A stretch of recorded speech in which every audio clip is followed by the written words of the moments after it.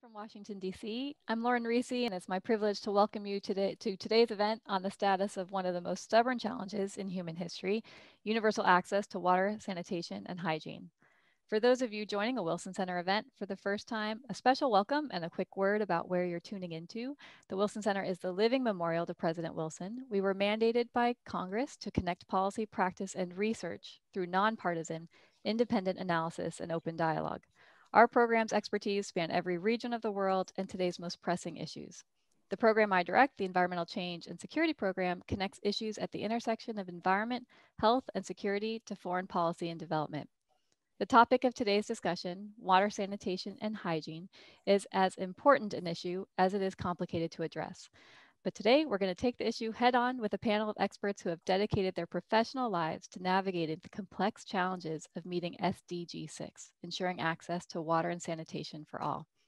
Our opening speakers and panelists will help put into a broader context the groundbreaking reporting conducted by Circle of Blue's Keith Schneider in partnership with the Wilson Center and with the generous support of the Conrad N.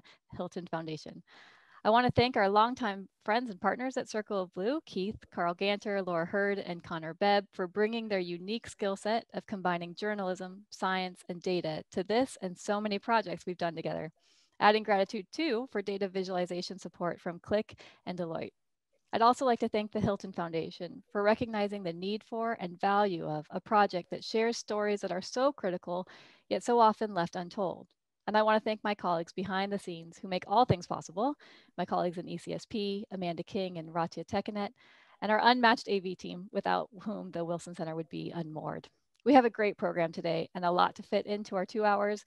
We're going to start with opening remarks by the Wilson Center's Ambassador Mark Green and USAID's Maura Barry before turning the floor over to Keith Schneider to provide some insights into his reporting. From there, we'll dig a bit deeper with our expert panel. I'm so pleased to introduce Wilson Center President and CEO, Ambassador Mark Green for opening remarks. Ambassador Green has dedicated much of his career to ensuring that the international development community has the tools, structures, and capacity to provide assistance that truly strengthens the resilience of communities.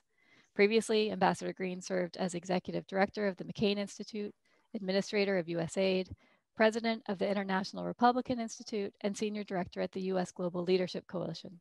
Ambassador Green also served as the U.S. Ambassador to Tanzania and a member of Congress representing Wisconsin's 8th District. Over to you, Ambassador Green.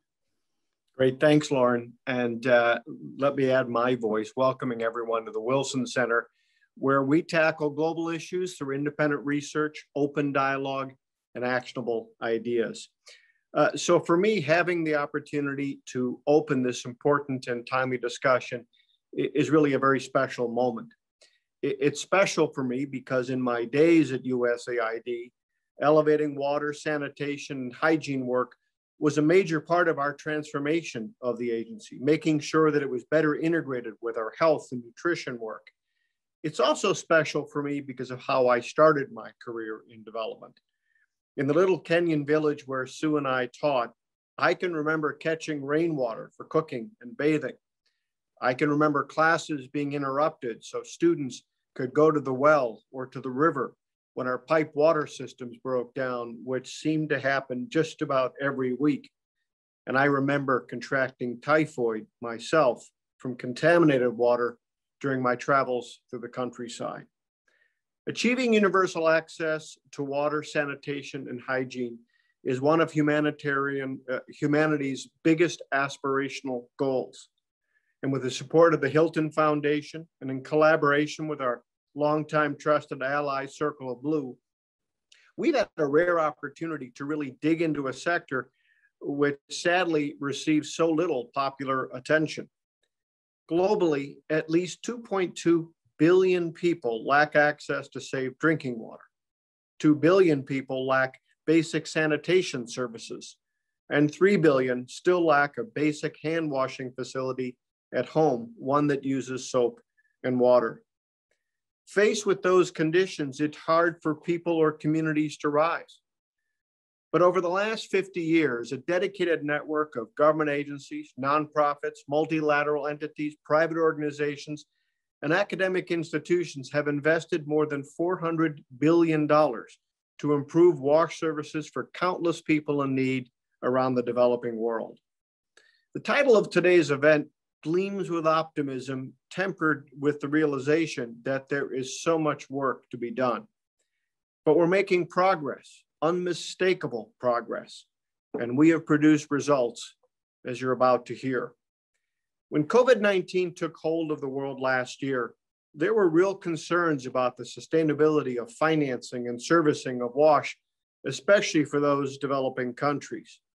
Today, as COVID 19 continues to devastate communities around the world, taking st- stock of where WASH systems are resilient to the pandemic can help provide some important insights for future investments and innovation, and I hope give shape to new partnerships.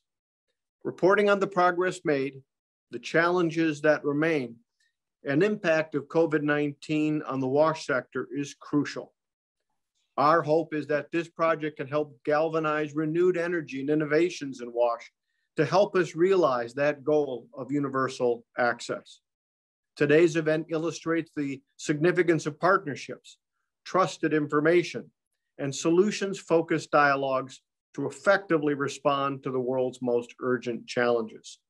I want to recognize my former USAID colleague, Maura Barry, for being here today. Thank you, Maura uh, and talking about the importance of water around the globe and the great work that USAID is doing. And I want to once again thank the Hilton Foundation for their generous support of this groundbreaking project and our friends at Circle of Blue for their many years of partnership with the Wilson Center. Back to you. Thank you, Ambassador Green. I'm delighted now to introduce Maura Barry. Ms. Barry serves as the Senior Deputy Assistant Administrator in USAID's Bureau for Resilience and Food Security and as USAID's Interim Global Water Coordinator. In this role, she oversees the implementation of the agency's responsibilities under the U.S. Global Water Strategy. She also oversees the Bureau's strategy, program, budget, and administrative functions, which support implementation of both the Water for the World and Feed the Future initiatives. Maura has over has served overseas in East Africa, Afghanistan, and elsewhere for over 20 years. Most recently, she was a USAID Mission Director in Jamaica. Maura, over to you. Thanks, Lauren, and thanks for that introduction. And thank you, uh, Ambassador Green. You know, as you were speaking, and I've heard you speak many times about your how you started your career in East Africa, um, particularly as I've taken on the role of interim global water coordinator, I've been reflecting on where I started my career also in Western Kenya as a Peace Corps volunteer and, you know, was exposed really to how difficult it was to, to access water. Uh, same thing, collecting rainwater and seeing really how my neighbors struggled uh, on a daily basis to collect water. So I'm really pleased to be here and, and thank you, Lauren, for organizing this. Thank you, uh, Ambassador Green, and also, of course, thank you to um, our colleagues from Circle of uh, Blue, uh, as well as um, the Hilton Foundation. And, uh, you know, this series on the state of global drinking water, sanit water, sanitation, hygiene, what we all refer to as WASH, comes at such a historical moment where trends in the world we've seen altered so much by this global pandemic. They've stressed water services further than ever before and it's at the same time we have a climate crisis and we have the hottest year on record. And I really commend the team at Circle of Blue and the Wilson Center for taking on a series of such an immense size. And also, I want to thank the organizations that are working on the ground for providing such candid insights into the state of global water and sanitation. And many of these local service providers and social, social enterprises and the donors that were involved are, are partners of USAID. And, um, you know, your perseverance and innovation, especially in this past year, are such an inspiration. And, you know, the conclusion of the article series that was uh, the state of global wash sector is sort of like a glass that's half full, like my glass of water here. And we sell, as we celebrate how far we've come, we also want to take a moment to focus on the work that we have ahead of us to fill that glass to the brim. I think we know in 2016, the global community set an ambitious but necessary bar for the sustainable development goals. When we look at goal six, water sanitation and hygiene access for all, we know that in the past 20 years, we have made some incremental progress for billions of people around the world with at least basic access to a communal drinking water point that's available year round and is within a reasonable distance from their homes, you know, such as a hand pump or a kiosk, and also to a lesser extent, um, some improvements have been made on basic sanitation access. And we know that basic sanitation is defined as a toilet that is used by only one household or a latrine. The latest global monitoring data from the UN tells us that universal access to safe and equitable drinking water, sanitation and hygiene is perhaps within sight, but of course it's far from being reached yet. With regards to drinking water, at the current rate of change, the UN estimates that 60% of countries and territories are going to miss the target of universal access to water in 2030. And even for the most basic level of drinking water services. And while many of those countries are in sub-Saharan Africa, it also includes countries such as Afghanistan, Bangladesh, Haiti, Malaysia, Nepal, Nicaragua, Pakistan. We know that those countries will also be home to millions of people without even basic water access. And in terms of sanitation, we face even more difficult path to achieving universal access to sanitation. The current estimates tell us that by 2040, 10 years after the SDG deadline, we're still going to have more than 100 countries that haven't yet reached universal access to basic sanitation. And as many as 750 million people likely still won't have access to a decent toilet, one that they don't have to share with others outside of their house, and one that is durable. And when it comes to hygiene, prior to the global pandemic, some 3 billion people lacked a place to wash their hands. And then during the pandemic, all of a sudden the whole world was paying attention to hand washing. And it started, you know, really to grab attention. But now we see that research uh, and evidence is suggesting that the heightened awareness is starting to taper off. And that leaves us with a really daunting challenge. The best data available suggests that we are well unfortunately off track for meeting the SDGs, even if we continue to make progress at the rate we have. And this comes at a time of mounting challenges. The COVID pandemic has increased cost and reduced revenue for service providers and has really shown the weakness and vulnerabilities uh, of the WASH systems. And the ongoing climate crisis is only going to increase the challenges that the entire global community will face.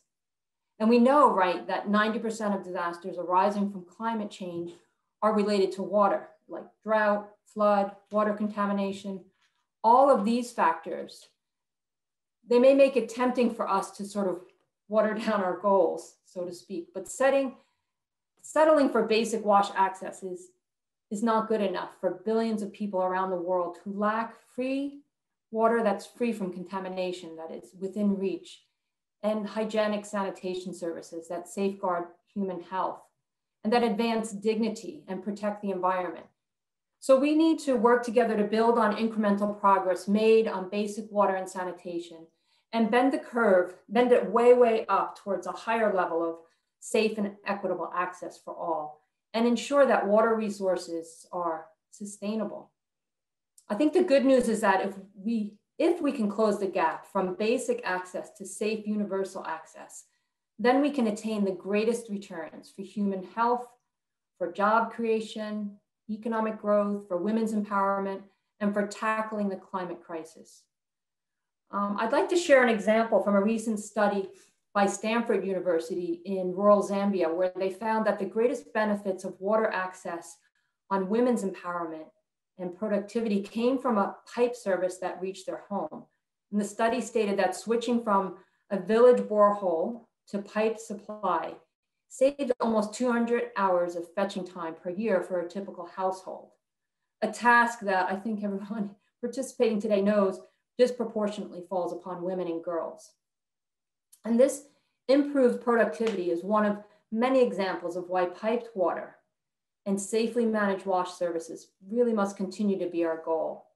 And getting to this goal will require a doubling down on a systems approach to wash. So as documented in the Circle of Blue series, a new blueprint for universal access has really started to emerge among governments and donors and in civil society and service providers alike. And also uh, the approach this approach is, is really at the heart of USAID's Water for the World programs. And this blueprint approach is a holistic systems approach to WASH. It combines investments in infrastructure with improved service delivery and accountable governance. This system puts serving the needs of people that we ultimately aim to help at the heart of its efforts.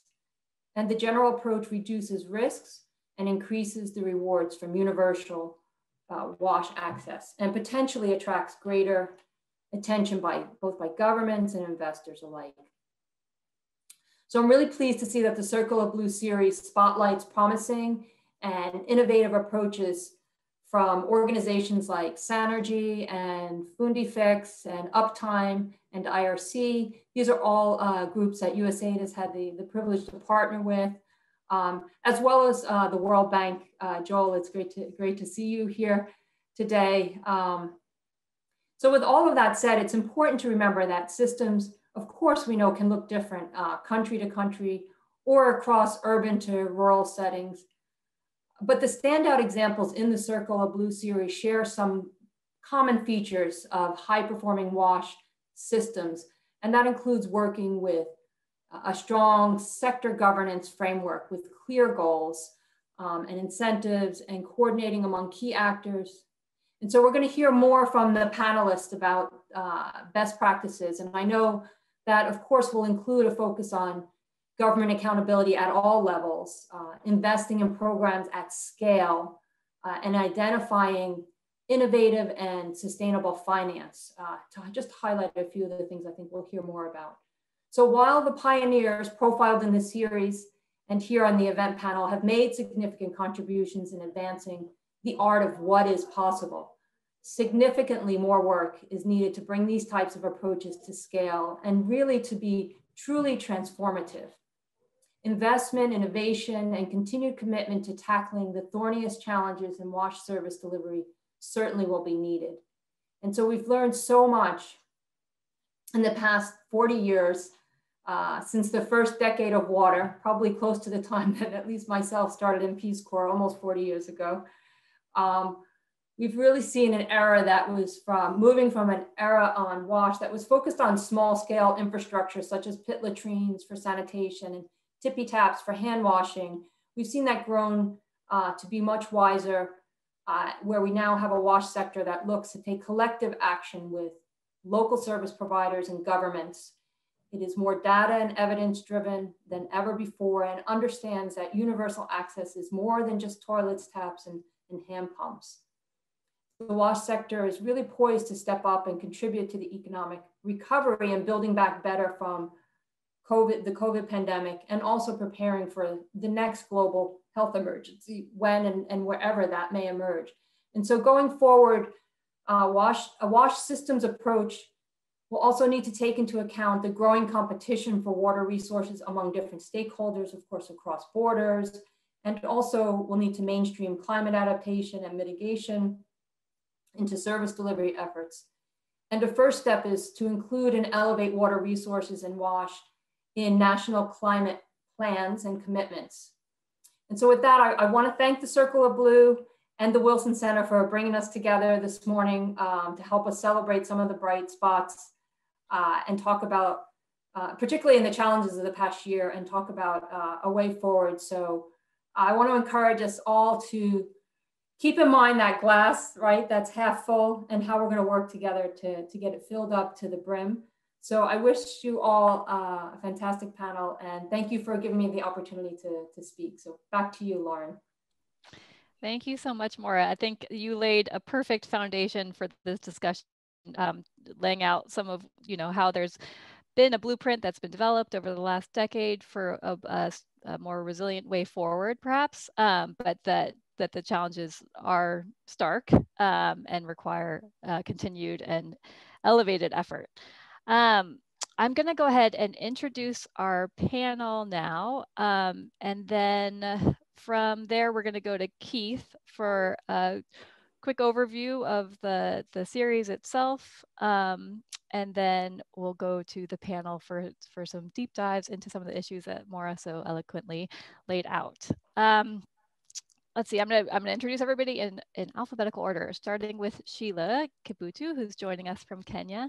Sheila is in charge of building and managing relationships with Sanergy's external stakeholders, including government, partners, and media. She's an experienced strategic and digital communications expert and impact storytelling and advocacy expert. We have Joel Kolker, who's the program manager of the World Bank's Global Water Practices think tank, Global Water Security and Sanitation Partnership, which supports analytical work and knowledge across the entire water sector, including work on water, sanitation, and hygiene, water resource management, water and agriculture, and water storage. He previously coordinated the World Bank's water practices global effort to secure additional financing to meet the financing gap in the sector. Joel brings 35 years of experience in dealing with a host of issues related to infrastructure finance across multiple sectors and has lived, worked, and led projects in over 30 countries, primarily in Africa and Asia. Dr. Duncan McNicholl is the director and co-founder of Uptime, an international consortium developing a multi-country performance-based funding mechanism for rural water maintenance services. He has WASH experience in Africa, Asia, and South America, where he has directed governance programs, managed professional rural water maintenance services, and led academic research. Duncan is joining us today from Tanzania. Dr. Tanvi Nagpal is the director of the International Development Program at the School of Advanced International Studies at Johns Hopkins University. Tanvi's career, span, career spans work at the World Bank, NGOs, and academic institutions. Her research and policy work have focused on sustainable and equitable water, sanitation, and solid waste service delivery, supporting communities and local governments to manage environmental resources, and generating financial support for pro-poor urban policies and programs. And finally, Keith Schneider is the senior editor and chief correspondent at Circle of Blue, where he has reported on the intensifying confrontation between water, food, and energy from six continents. He was a national correspondent for the New York Times for over a decade and continues to report as a special writer on diverse range of topics for the Times. Keith is an award-winning journalist, online communication specialist, and environmental policy expert who provides important insights on global trends in energy, water, and food, and on the role of original reporting and online communications in the public interest. So we've got a really um, amazing expert panel and a lot of expert communicators. So it's a, it's high bar for the, the, the, for the discussion today. Um, a quick note that we will reserve the last 15 minutes or so for Q&A. So please feel free to email, email your questions at any point in the discussion to ecsp at wilsoncenter.org. Again, that's ecsp at wilsoncenter.org. Please indicate your name, title, and affiliation with your submitted question. The email is also listed below uh, the video where you're watching this discussion. Uh, Keith, I'm going to hand it over to you. Hey, thank you. Really nice to be here. It's a privilege to be here. It's a privilege to be part of this project. Um, we had a lot of thank yous, so I want to add one, two more. One is to the Foundation, Hilton Foundation, for making this possible, and the second is to all the sources, all the sources, some of whom, many, all of whom are on this on this uh, call, for providing the time and the expertise and the guidance to understand that. And I say that because all projects are an adventure, but when you tackle a project this big and this sweeping with the magnitude of what we're talking about, WASH globally, that's a big project. And I really didn't understand it. Um, when Carl came to me in December and said, You want to tackle this? You want to look at what the effect of COVID 19 has been on WASH? And I remind you that Carl and I have been all over the world for the last over a decade, reporting on various and sundry parts of, of water and energy and food. And we've tackled WASH locally. You know, we've been to Durban, we've been to the informal settlements in Durban. We've been to China's informal settlements. We've been to Delhi's slums and, and many others in India. And, and we've been to Peru and we, we've done work on the settlements in Peru. Um, but I had no idea about WASH. I, I didn't know anything about this amazing, enormous, uh, global, international campaign that has been going on for over 50 years to achieve one of the great humanitarian successes, to really go out and help people in a way that many other international campaigns haven't. And I didn't understand it until I've been involved internationally and talked to Tanvi, who's on this call, um, to help me kind of understand the sweep of it. And I reported back to our project, uh, Lauren and Amanda, and our own staff, and I said, look, COVID 19 is an issue in WASH, it's an issue everywhere. but it's not nearly the impediment, in my view, at this point, that what WASH has been dealing with for 50 years, which is, you know, the uh, population in cities is growing, uh, poverty in rural areas, uh, uh unsanitary conditions, uh, sanit- uh, providing water under very difficult circumstances, financing and funding. you know, the, the COVID-19 piece looked to me to be, you know, a subset of that. It was, it was an, an issue, but not nearly the issues that the other things that I I just tripped over we agreed that yeah we should we should try to repro, re, restructure uh, this project restructure the narrative and i suggested doing three things. I suggested one to look at services. I mean let's assess services. Two to look at financing which is which is a lot of new things are happening in financing successful things happening in finance. And three to look at infrastructure. And we agreed let's okay do that. But you know put wrap the covid-19 story within all of that. Um, so uh, let's talk about what I found because uh, it was an adventure of discovery. First thing that I found was that that this campaign involves some of the most high profile institutions on the planet the World Bank, the United Nations, UNICEF, WHO, uh, Oxford University, uh, the Gates Foundation, uh, you know, USAID, that, that some of the most prominent successful, durable, stable institutions in the planet are involved and have been involved for decades. Two, that this was a galaxy, that, that you had some big players and you had some middle players and you had a lot of people on the ground. And of course, I found Sanergy, and, and, and Sheila spent a lot of time on the phone with me explaining what was happening at Sanergy. I found Fundifix and and at Cliff Nyaga spent a lot of time on the phone at odd hours of the day explaining uh, uh, what was happening with rural water supply. And of course, Duncan helped me understand what was happening in uptime. The second thing that I found is that there's a, been a lot of money, a lot of money spent over the last 50 years on this. And I was able to kind of document that at least $400 billion, this is constant dollars, has been spent on WASH. And in the 2020s, I mean, in the 2015s, from 20, 2015 to 2020, about $20 billion a year, maybe a little bit more of that. Now, the best database on this is OECD's database, but there are other little databases around that I was able to trip over and put together that, that, um, that, that estimated uh, value uh, funding in this sector. The third thing I, I found was that, was that there's this conversation about whether WASH is successful or unsuccessful. That, that what I found was that Wash has been a whole lot more successful than the, than the, than the key players have acknowledged over the last 20 or 30 years. And, and I also found that the UN was the most critical, the most pessimistic uh, institution about Wash's success. And in fact, four days before uh, World Water Day this year, Volkan Bozkir, I hope I'm spelling, uh, pronouncing his name right, four days before Water Day, he said, the fact is that we are nowhere near achieving the goals that we have set out for WASH. And I don't think that's accurate. In fact, I think, I think it's wrong. And it's wrong for a number of reasons that, that uh, already said. I mean, glass half full, glass half empty. I saw a glass more half full than half empty. In fact, there are 5 billion people on the planet who have, have been able to gain access to safely managed and improved sanitation. There are billions that haven't gained access, don't have access, but there are five, more than 5 billion that have gained access. And that is the result of the kinds of work that's been going on in this sector. Um, the UN says that now says that 673 million people practice open defecation. Well, that's half the number that practiced open defecation, you know, at the start of the, at the start of the century.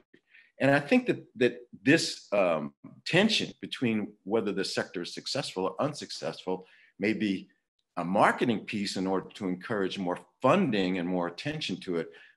But I think that the sector is achieving the kinds of success that hasn't been recognized to date. Um, the other thing, the other thing is, is I discovered a community of really devoted professionals, some of whom are on this call.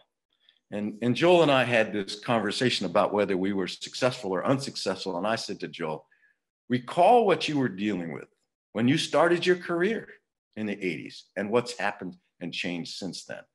And, and so I, I've been impressed, so impressed by the people that I've met online and on Zoom, by the devotion, by the fact that they're involved for much of their careers because they see change is occurring, progress is being made, significant progress is being made um, on, a, on an activity, on a campaign that has real human merit. And the last piece of this is that I had this really interesting conversation with Stef Smits at IRC, and I asked him, oh, look, my assessment is that, that WASH is a lot closer to its achieving its goals than what the sector says it is achieving. What do you think? And he told me, he said to me that, and I'm going to quote him here. He said to me, in universal access, reaching 100% for water and sanitation achievable by 2030, he said, I think in 95% of the world, that is more or less achievable. And if you look at what's happening in Vietnam, places like Bolivia, places like Peru, that's, that's clearly the case. The other piece of this is the UN data is, is uh, four years old. So the database is not as, as, as uh, current as it, I think it needs to be.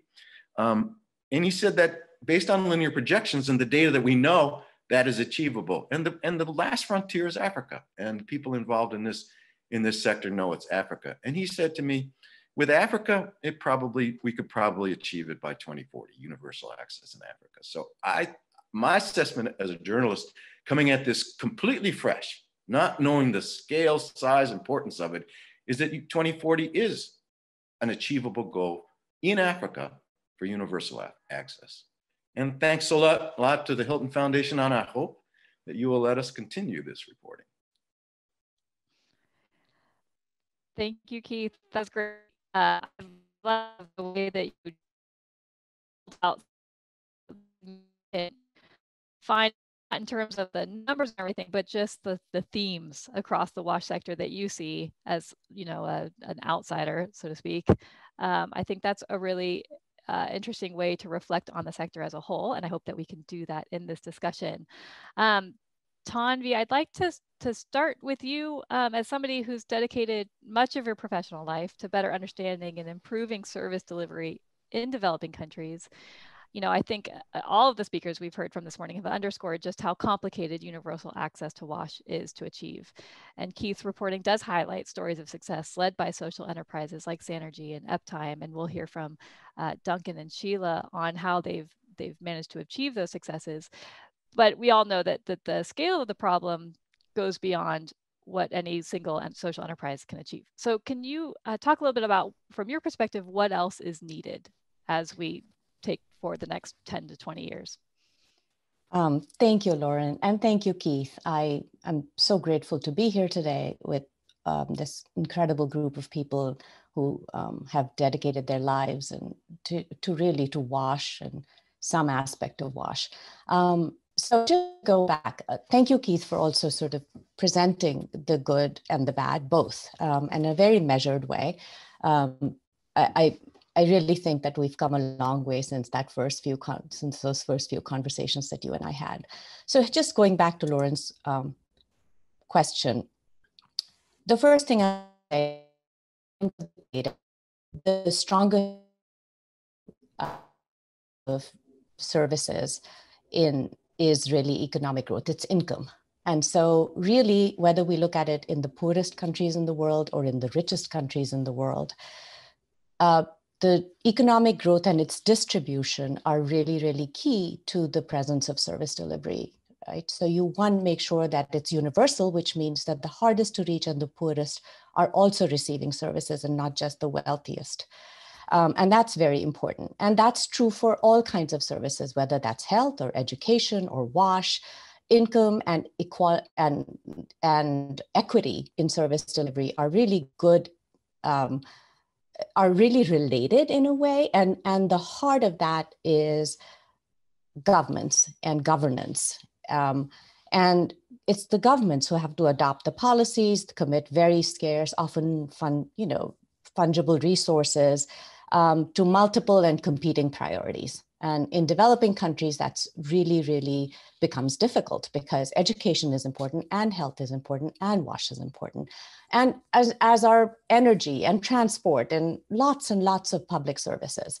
Um, so I think it's important for us to go back to sort of what is going to allow these really, really incredible social enterprises, Uptime, Sanergy, uh, all of them, what is going to allow them to be um, integrated into the entire system, the ethos of service delivery. What these incredible social enterprises have done is to develop models that are financially, environmentally sustainable. They've shown us ways in which you can reach the hardest to reach, whether they are in urban slums or in remote rural areas. But in order for those models, those methods, those strategies to really have an impact, they will have to be integrated somehow into service delivery systems that are managed by governments. And so I think probably the next frontier is trying to figure out how we make that happen. Um, and and you know that's what i would sort of leave it. Of course there's a million other things that have to happen but in order to get us started i thought i'd say that. Thank you tanvi. It's a very good point. Uh, duncan i'm going to come to you now. I you know tanvi brings up this important point about being able to integrate service delivery into um, into the management of governments frankly or government management um, in Keith's reporting, he shared Uptime's approach to increase funding to operate and maintain, maintain services through results-based contracts. You've had some impressive results from the approach, but at a small scale relative to broader WASH needs. Can you give us a quick 101 on your approach and how you see this potential to scale up the approach? And, and does that include working more closely with governments um, and integrating your approach into these broader service delivery um, goals? Great, thanks very much, and uh, a real pleasure to be here today. Thanks for having me. Um, so we, uh, the first thing I want to pick up on was something that Ambassador Green mentioned in his opening remarks, just to talk about the specific uh, subset of the WASH sector that Uptime is looking at. He talked about uh, when the pipe scheme would break down and what a problem that is. And that's very much the problem that Uptime is focused on. It's in the rural areas, it's the maintenance, the reliability of these infrastructures. So not just is there access, but does that service work reliably? And then from that, you know, can, can it be sustainable so that we're really leaving no one behind uh, in, in even rural and remote areas?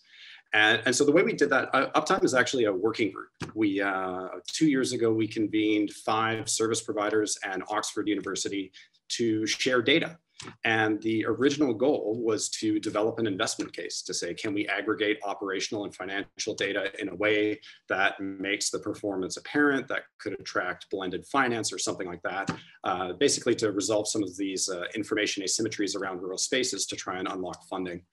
And, uh, and so we were able to do that to some extent. We were able to aggregate certain operational and financial uh, indicators of these services from a number of different countries and contexts and service models. And what we found is that by and large, these five organizations, they're doing, they're delivering a really high level of service reliability. Uh, users are paying some, but not all of the costs. And in most areas, actually many of these services still require a subsidy to continue operating.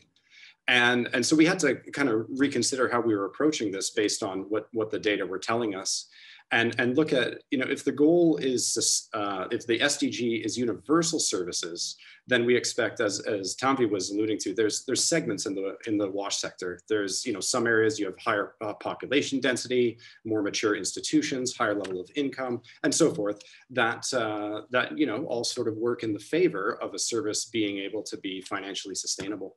As, as we get out to universal services, you know, we're really leaving no one behind, then what we're seeing is there are some areas where, you know, the services aren't as developed, the institutions aren't as developed, maybe there's uh, sparser population, higher supply chain costs, and so on. And, and so these areas still need some sort of non-repayable funding in order to, to continue uh, delivering that service and developing it. And, and so we said, okay, well, if those, if that's what the data are, how do we meet that challenge? And, and what we asked was, how might we develop a funding mechanism that is targeted, transparent, data driven, and ultimately scalable. So this can try and solve the problem at the level of the SDG and, and do so in a way that allows the service to continue while also motivating uh, higher levels of financial and operational performance over time. So how do we motivate these services to get better? And what we did uh, last year was we developed a results-based contract design. So we looked at three key performance metrics uh, based on the reliability of infrastructure, the volume of water produced, and the amount of revenue generated. And then we use that to design a results-based contract. So the idea is the service providers do the work based on their performance, then they would be eligible for a non-repayable grant uh, based on what they and uh, over the past what we've done is uh, put this into practice. Uh, so late last year, we established the Uptime Catalyst Facility as a UK charity, as the funding vehicle. We raised approximately a million dollars in, uh, in grant funding from you know, known WASH philanthropies and, and foundations to test this model. And uh, I'm delighted to announce that this week, uh, we're actually releasing the first results-based payment um, this week it's to Kenya and Central African Republic, uh, on aggregate, these are services delivered in quarter four 2020 that we're paying for. Services uh, supporting uh, about 1.3 million people, we estimate, in four countries at a cost of about $215,000. And, and what we're able to do and what we're you know, working through is you know, how do we create this really transparent targeted link between resources and results uh, in a way that's also generating the data that could eventually allow you know, governments or, or others to adopt these approaches uh, we can move away from the sort of you know ideological stance of you know people should pay for water or they shouldn't or, or, or, you know other such debates and say well here's the reality on the ground here's the data to back it up and uh, and here's a model that that we're testing that can show how this um, how this could function in practice um, even at a multi-country level. So a, a, single contract design that could accommodate different contexts and, and services and countries. Thank you duncan Sheila, can you uh, talk to us about Sanergy? So this is a 12-year-old company that manages 3,500 public toilets used by more than 130,000 people a day in Nairobi. Uh, you know, we see all over the world that cities are growing at a faster rate than governments are able to provide essential services, uh, including water and sanitation. So you're working in this complex environment. Can you talk us uh, talk to us about the challenges that you that that Sanergy is working to address, and and what how you let's see um, how you've applied sort of a, uni- a unique way forward in this complex environment. Yeah, great. Uh, thank you very much, Lorraine, um, for having us. Um, and I'm really excited to speak to you about Sanergy and what we do. So as you've mentioned, uh, cities are really, really growing. And so what Sanergy is doing is really providing inclusive sanitation to everyone in, in those growing cities. Um, and as you've mentioned, so seeing that these cities are growing, especially like in Kenya, where 10 million people live in, in slums today, um, we are trying to build a, a solution um, to be able to provide inclusive sanitation for everyone. And so we're really looking at three key challenges that um, these cities are facing to be able to provide sanitation to everyone. And we are seeing the issue of time. Cities are really growing beyond what, um, beyond the infrastructure that is available. We are also seeing that um, the space is not there as cities grow and especially in slums we are seeing that the spaces are really packed um, and so the population is growing we have uh, less and less space to work with and so trying to address this challenge um, through innovative solution, solutions. The other thing is that we are seeing a massive, um, as cities grow and as the population grows, we are also seeing a massive challenge with waste. So trying to also look at how do we um, address the problem of, of waste and sanitation waste is a big part of that waste that is, you know, polluting the environment today and also impacting on um, on, on the on health and economic uh, development of cities. And I really liked what uh, Maura was saying that we are not just looking to provide basic services uh, to people, but we are looking to provide safe and universal services to everyone. So Sanergy is exactly trying to do that, making sure that we are providing safe and sustainable um, sanitation for everyone, particularly those um, living in informal settlements where you know access is, is barely there. And so we have built uh, our model um, in what we call a circular economy approach. We are using what we call a circular economy approach, and that is built on three key uh, pillars, which is uh, build, collect, and convert.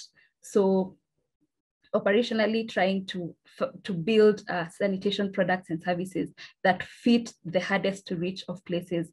Uh, informal settlements, you know, they are packed. Um, informal settlements also, they are informal for a reason, like they're called informal for a reason, meaning that, you know, families might remain there temporarily and then leave, but that's not the case with the current, you know, growth in um, population. So we are trying to build, you know, solutions that will last, that will be sustainable for people and will be feasible for people and are flexible to be able to amend. So um, that is why we have come up, we, we, we provide what we call a container-based um, toilets. And so these toilets are waterless, um, first be able to then, you know, save on water, um, and they're very compact to be able to save on space. Um, and at the same time, you know, um, they, they are easy to build. So we use what we call a human-centered approach where we, where, where we have, you know, all, um, the, the community is, is our main customer. And so we get their feedback and we are able to, you know, build um, what they want and then um, prefabricate it at our factory and then install it. So taking a minimum of one to three days to be able to install, to, to be able to install that um, toilet to make sure that everyone has then access to, to sanitation. The other big problem um, we are trying to address is um, the waste problem. How do we then be able to, how do we um, remove all of this waste safety, safely and professionally? So we are, we, we have, we have created a, a network of, um, you know, logistics personnel, um, and these people are really just from the community who safely and professionally remove all of this waste from these communities and track it out uh, from, the from, from those communities, um, leaving people, you know, healthy and, um, and, and, and the environment quite clean. So the other one is um, we, we convert all of this waste. So we, because um, the problem uh, with, with the waste, especially in cities, is that we are still using a lot of, you know, antiquated um, strategies to manage our waste. If it's organic waste, it's ending up in landfills, you know, polluting our environment. And sanitation waste um, in informal settlements, we are seeing a lot of, you know, pit latrines be, being used. Um, and so where does that waste go to? So what Sanergy is doing is being able to then um, repurpose all of this waste and make sure that we are we are creating value from that waste and and, and manufacturing, you know, quality and valuable products that then come back to the to the community to address other challenges such, such as you know food security so yeah so that is it about um, our, operations. And then when it comes to you know building partnerships on the other on the other spectrum is that you know building our model from the ground up looking at you know the communities that we serve and making sure that you know we they are our main customers and also looking working with government so that we are creating uh, services and products that that are sustainable and will you know serve the communities in the in the long run um, so with government also working with them at every level, um, building, you know, working towards improving on policies, um, especially that then, you know, look at the container-based um, sanitation, which is uh, a, a, unique, you know, um, sanitation model. And so just looking at the spectrum of build, uh, of creating that enabling environment um, for such a solution to be able to, you know, succeed in that uh, in the context of informal settlements and scale beyond, you know, for example, Nairobi, where we are, Nairobi and Kisumu, where we are currently operating. Yeah. Thank you, Sheila. It's really a fascinating approach and the um, the the development of of the model with a circular economy approach is really um, sort of inspiring, frankly. Can you, real quick, can you give us an example of so you take the waste out and you convert it into mm-hmm. products that can go back in? You said for food security. Can you talk a little bit about what that looks like? Yeah, sure. So what happens is that once we have tracked out all of this waste uh, from the communities, we have then built a big factory which, which we call an organics recycling factory. So we collect two main streams of waste. Um, and this is sanitation waste from, uh, from the toilets that we have installed in the informal settlements. And we also collect other organic waste from cities, um, you know, marketplaces, agricultural park houses, restaurants. Uh, we collect all of this waste and then we we have it, you know, tracked out and taken to that factory. And at that factory, we rear what we call a, a fly, a unique fly called a black soldier fly. And this black soldier fly is a really good um, waste converter. It converts waste uh, very safely and effectively, and it breaks it down into, you know, high protein and, uh, and residue. So the protein component is what we, again, we, we we package and we create what we call um, a protein for a high quality protein for animal feed. And this can be fed to chicken, pig, and fish. Um, then there are the, the waste that they produce, which is a residue, is what we further decompose um, to be able to make uh, organic fertilizer and, and, and, um, and uh, biomass briquettes. So the organic fertilizer, again, um, really works well with our farmers to be able to, you know, address uh, soil fertility challenges that a lot of our farmers are facing today. And at the same time, you know, food security, just increasing uh, farmers' yields and incomes. Um, at the same time, you know, in Kenya, we have a ban on um, on the use of charcoal for environmental reasons.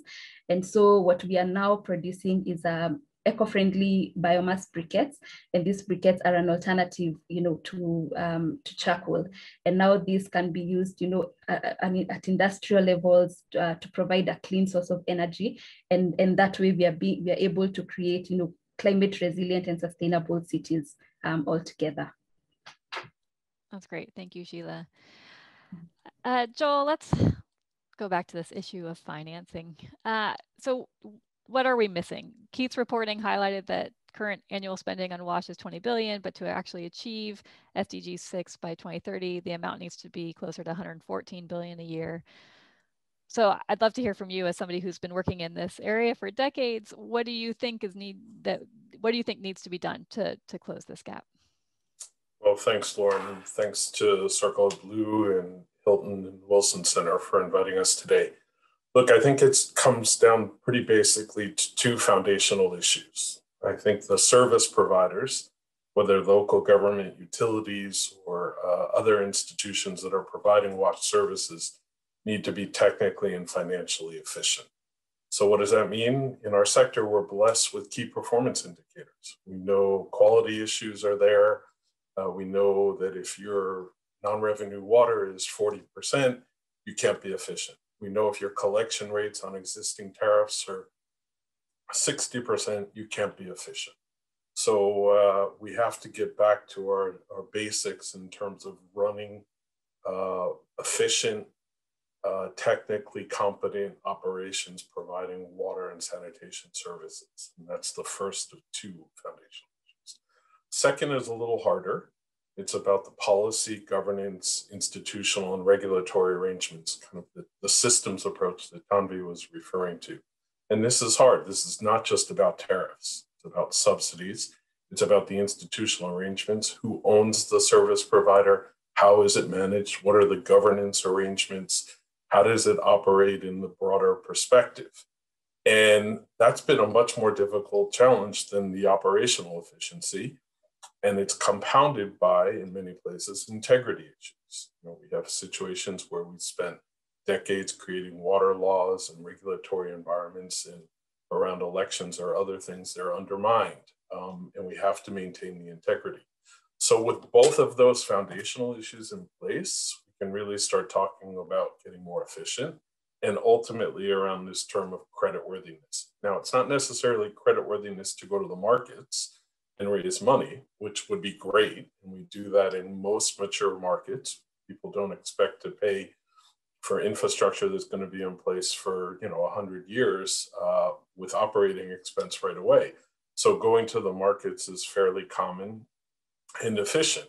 But we can't do any of that if these two foundational points aren't made. And that's really at the center on how to overcome this.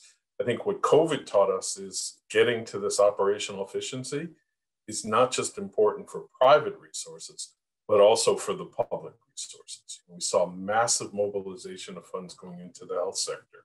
And yet we knew water was the other key component in combating the pandemic at the beginning of it. And we saw real challenges in water service providers um, in terms of their revenue loss initially and their expenses going up. Now we've normalized that from what we can tell, but we still remain very vulnerable. So to conclude on this point, I think it's really central to get back to the basics. Don't worry about the supply of money. We can talk about bonds or microfinance or other instruments, but our service providers need to get more technically and financially efficient. And our oversight and our transparency around the operating environment, governance, the policies, and the regulations really needs to become more um, more efficient how we govern the sector. Thanks. Thanks, Joel. I'm sure you have some suggestions as to how we can do that. Sure. Do you want to take a minute to talk about? Sure, okay. sure. Look, we have a um, we have a large portfolio. Obviously, you know, bank has about forty billion dollars invested in water. Uh, about two thirds of that is in the water practice, but just showing how big this sector is and how interconnected it is, we have investments in agriculture, urban energy, which all directly impact on the water sector. But to get back to your point, I really think we have a, um, we have several tools specifically that are available for service providers to get more efficient. This notion of these key performance indicators help us target where we really need to look and what we know. And as I mentioned, things like non-revenue water, the number of employees, um, collection rates, those are all very fundamental and very foundational.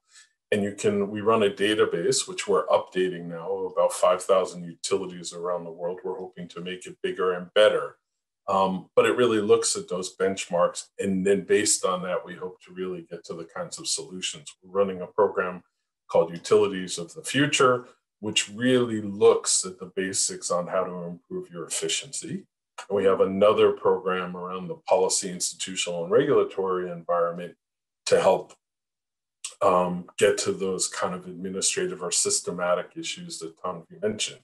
Now, what makes us a bit unusual is that we're able to combine that analytical work and do buy-in through our lending operations. So those lending operations can be directly for infrastructure investment with that kind of support and on the sustainability issue in particular, but we can also do it through um, through our dial our policy dialogues with the Ministry of Finance. And let's face it, that's where the rubber hits the road. That's where the money is, and we have to get more efficient in the operations to secure that. So yeah, there are plenty of tools out there on how to uh, how to improve our efficiency and how to improve our governance arrangements. We just need the political leadership to really get there, and we are in certain countries but uh, it remains a challenge in other places. Thanks. Okay, thank you, Joel. Um, we do have some questions coming in, but I'm gonna hold off on those for just a minute. Um, I, I think that one of the key themes that that spoke to me from Keith's reporting is that there has been this great progress in the wash sector. Um, it is a sector that can sometimes be really hard on itself, and the the challenge is immense. And so it's understandable how it can be daunting. But I think that, um, you know, Keith's reporting and, and just even hearing from all of you today, there has been a lot of lessons learned and those are being applied very strategically. So I, I'd like to go back to each of you and ask how you think the sector needs can build on that progress moving forward. And actually, Keith, I'm going to start with you. Um, just given your perspective from your months of reporting and the conversations you've had with over 40 experts in this field, um, it'd be interesting to hear from you what what are those like sort of nodes of progress that need to be built on moving forward?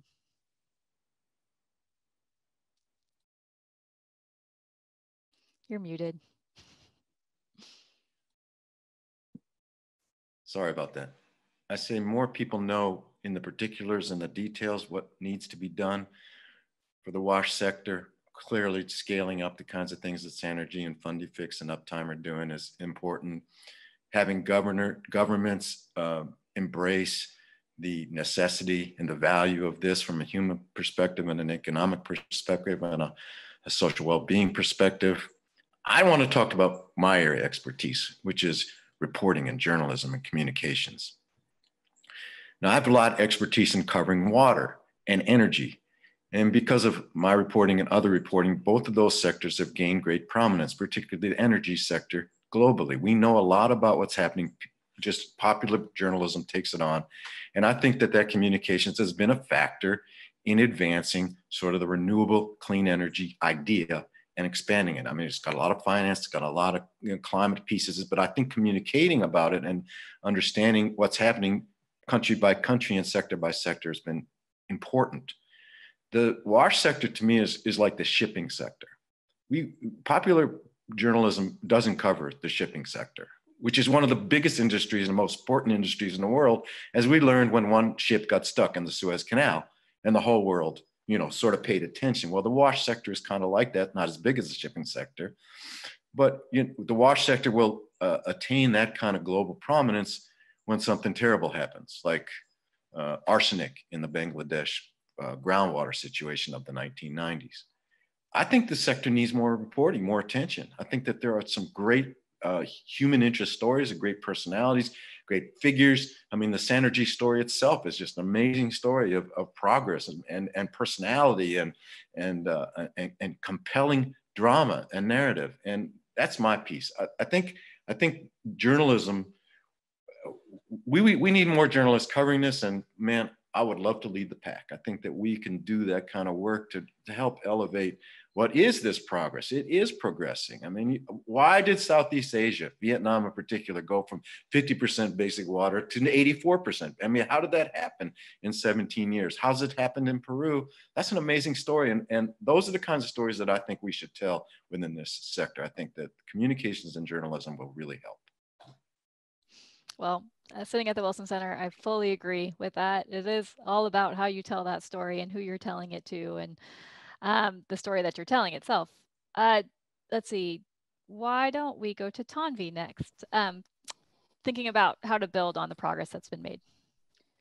Um, so Joel has essentially said everything that I always say, and um, you know the others have illustrated it. And I think it it goes to show you that we're we've all been working on these same issues and have come to in the sector quite a joint common understanding that we can now complete each other's thoughts and sentences quite quite quite often you know. Um, but what i'd like to highlight today in addition to all these great points my colleagues have made is that for a long time now the wash sector at least as far as long as i've been in it has been talking about the need for cross-sectoral partnerships um, which we talk about a lot but it doesn't actually translate into real actual partnerships. Um, and we don't know how to build them. We don't know how to make them intentional. We don't know how to make them sort of mutually beneficial.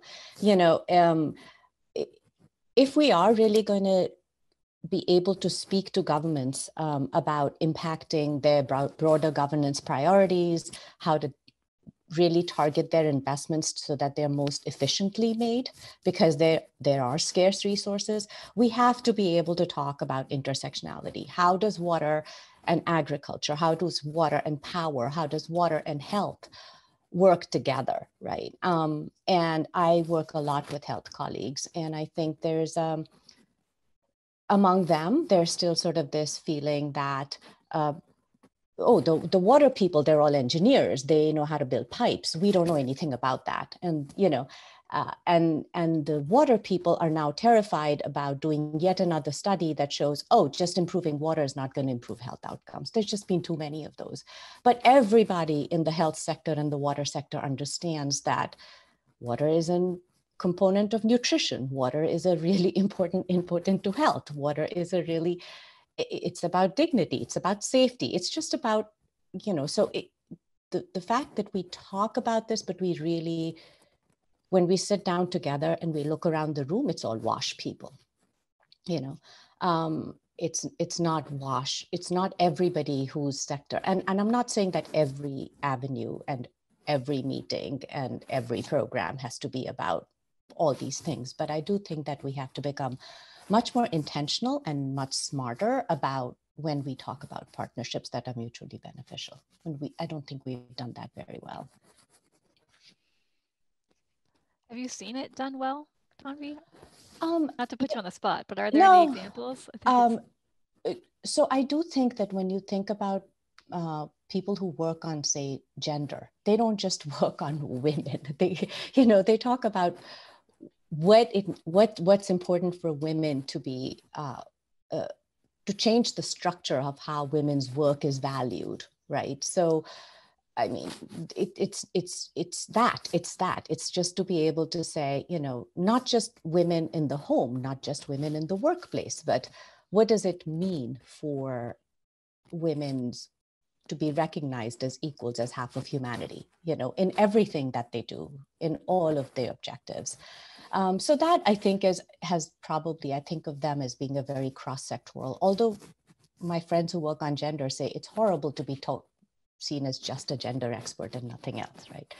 Um, so I think that that's a good example. I think actually that um, in some ways, in some in some parts of health, we've done a much better. They've done a much better job of thinking through all of primary health issues and not just one or the other or the third, and being able to integrate it across different areas. Although, again, people who work on primary health will say it's been forgotten. So I think that this glass half full, glass half empty thing happens in every part of development, right? Because there isn't sort of an end goal where you say, oh, now we're at perfect, now we're at perfection, and now we can stop working.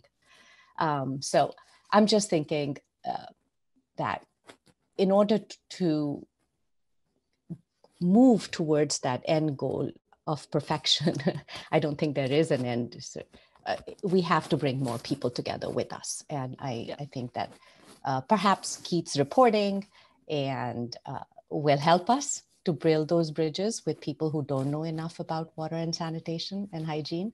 Um, so maybe that's a good, that's, that's one way to do it. Um, yeah. The second would be to become much more strategic about how we communicate and with whom we communicate um, and who we bring into our rooms and and and with whom we're willing to make sacrifices you know yeah so it's uh, as much about the process as it is about the end goal right how Absolutely. do you how you achieve that goal is going to really um, either avoid unintended consequences or allow you to realize you know broader uh, benefits. Correct. Um, Duncan, how about how about you? What, what progress would you like to see us build on? Yeah, I uh, so I I'll, I'll, speak you know specifically for my subsector and you know rural water maintenance because the water sector is quite big. Uh, I I think there's a, a huge opportunity now to have rural water funding for this rural water space transition to be more like what Joel's talking about, where you have these huge data sets that set benchmarks. They're able to uh, quantify the level of operational and financial efficiency in the institutional context in a way that allow us to target resources efficiently. And then from that, find the right money for the right risk. So if you're working in the Central African Republic and it's a really tough place to work and the financial efficiency is low and the institutional context is really tough, fine we can find you know the type of funder who says well if you can support services for 5 million people at a subsidy of less than a dollar per person per year i'm i'm you know i'm willing to participate in that uh, you know that socioeconomic outcome has value to me. I, I think we can transition to that as the norm for the rural water space in a way that uh, as Tommy is talking about starts to draw in new people. Maybe uh, new types of funders who aren't familiar with the rural water space because as Keith said, you know, we do, we do a bad job of publicity. Um, you know, if you put uh, money into uh, rural Burkina Faso, you know, what, what, what's, what's happening with that? What level of results is being achieved? Um, how is that catalyzing a transition towards a more sustainable service over time? If we can show that in a really clear, transparent, data-driven way, you know, can we start to engage new new types of resources for this space uh, that are maybe willing to uh, to take the risk of of you know working in in harder last mile contexts, or you know types of funders who who don't need a financial return but are are very comfortable with that. Uh, so that's what I hope to see in the next, uh, uh, you know, even the near future. I think we we have a real opportunity to uh, to demonstrate a new way of working, you know, very soon. Great, thank you, Duncan. Sheila, over to you. Um, if you could talk about, you know, where the the progress that you've seen over the last decade or so that can be built on to achieve SDG six. Yeah, sure. Um, and I think my colleagues have mentioned a lot of, you know, great progress and, and great thoughts that, uh, you know, I was just noting down um, as, as, as what I wanted to speak to as well. So yeah, of course, we've had like a lot of great progress. I'll speak for Sanergy and in Kenya, uh, we've been operational for 12 years and so we have seen um, a lot of progress, you know, from government partnerships to community partnerships, even to the cross-sector partnerships as well. Um, because what we have seen is that, like I told you, our model is built from, you know, from the ground up and, and being able to have a participatory um, situation where where communities are participating and and uh, corporates are participating you know um, funders are participating where everyone is really contributing to the to the sanitation kitty is what has made you know us make such good progress. Being able to provide products and services that are valuable to people and being able to to you know expand our our, our resource you know basket. Um, for us to to be able to to to provide these solutions you know um, sustainably and and in the long run. The other thing is that um, also speaking to the cross-sector um, partnerships and especially um, speaking uh, with government, our model is touches on, on, on almost all of them. So we work, you know, with, with farmers, uh, we work with, you know, health practitioners. And so what we have, what we have really been working on, uh, seeing that government especially has been our key, key stakeholder, is that we've been able to bring all of these stakeholders together.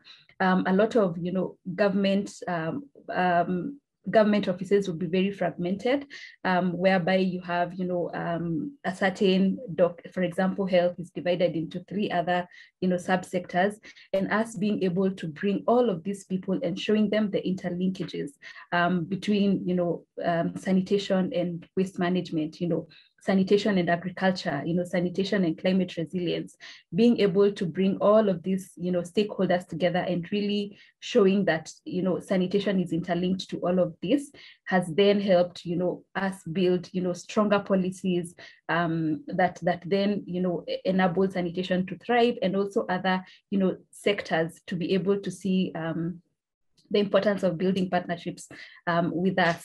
So that has really, you know, worked worked well, and and I want to see like that forge forge on, build on um, from that partnership, um, because what Sanergy is doing is that expanding and really reaching, going beyond Nairobi and beyond Kenya to other African cities and and you know uh, cities across the world, we are really looking at partnering with, with government and being able to, you know, work, work with, with them for, you know, um, in, in terms of policies, in terms of implementation, in terms of even just advisory, you know, working together to be able to find solutions that um, are feasible um, to today's context. Um, seeing that, you know, um, government is also not very um, uh, flexible, you know, to adopt new solutions. And so how can, you know, other, is it private sectors, you know, NGOs, how can they leverage um, to be able to reach where, you know, maybe government may not be amenable to, you know, to stretch. Um, yeah, so I think the, this, these are the three main uh, areas where I see a lot of, you know, growth, uh, potential growth. And if we build partnerships in those three areas, then um, we are sure likely to hit um, our SDG 6, um, basically all SDGs that's true, actually. It's pretty broadly applicable. Uh, mm-hmm. Thank you, Sheila. Joel, what do you think? Um, look, I think uh, there has been progress. Myself, I'm an optimist. Um, I'm cautious, however. I think we have a lot of work to do. I think that work definitely needs to be focused at the country and subnational level water, unlike the power sector, tends to be a, a local service provision. And um, you know, in the various tiers of government, subnational governments tend to have the biggest challenges, and water is is very indicative of that, and sanitation even more so. But it's clearly doable. I mean, you've heard the stories um, about some of the successes. There's other stories elsewhere in the world. I mean, Bangladesh went from uh, a large percent of the population doing open defecation to almost three or four percent in a 10 year period. It's doable. All of this is doable. The good news is we know what to do. Um, there's not much we, we, we, don't know in terms of uh, solving the problem. Uh, technology will make it easier. There's no doubt about it. But we have to be careful. Sometimes technology um, uh, is uh, is a guise for some of the solutions. When we were using smart meters, um, you know, very impressive, very good technology.